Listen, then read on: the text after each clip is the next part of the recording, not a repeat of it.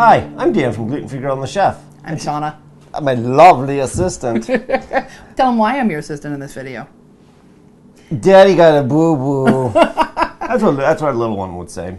This is a reminder to be really careful with your sharp knives when you're making Thanksgiving dinner, okay? Yeah, this one just got kind of got stuck in and was in an odd place, and I went went to grab something. Went, ow! Don't do that. I But said something worse, but you don't need a knife to peel potatoes to make mashed potatoes. You can use a peeler. And if you cut yourself with this, it's kind of sad. Be careful with the peeler. Yeah. You never know. But mashed potatoes. mashed potatoes. Mashed potatoes are one of the best things in the world. They make pretty much make Thanksgiving dinner.